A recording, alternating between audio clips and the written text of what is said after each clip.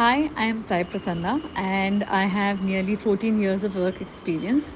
Um, basically, it was um, very interesting the way I got into Amway. So, when most people were firing people, um, here was a company who was hiring people back then. So, I was the first person who got hired during the pandemic and went through a proper digital orientation.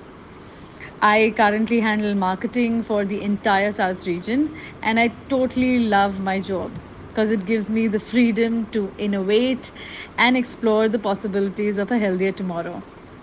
So, I've always been into sales and marketing, so I was very clear where I was leading. But it is difficult to find that company which respects you and your accomplishments, irrespective of your gender. Before Amway, I had a few interviews where they would often ask me about who would manage my kid, etc. In spite of me reassuring them, they would assume that I'm not deemed fit for that kind of traveling role.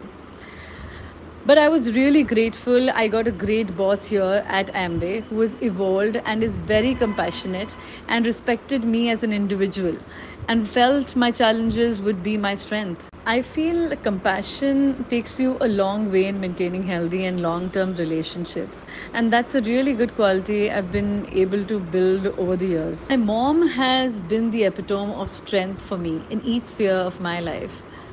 During all my ups and downs, the only thing she told me was you need to make sure that you're financially independent always. And those words just stuck by me. And I make sure I excel in my field of work. It's time you show care.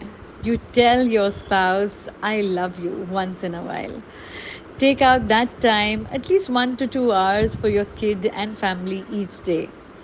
Traveling with family and friends gives me that rush back again from that mundane schedules. Maybe you should try that more often to get rejuvenated yourself you all are beautiful and confident ladies out there at Amway, and I'm no biggie there.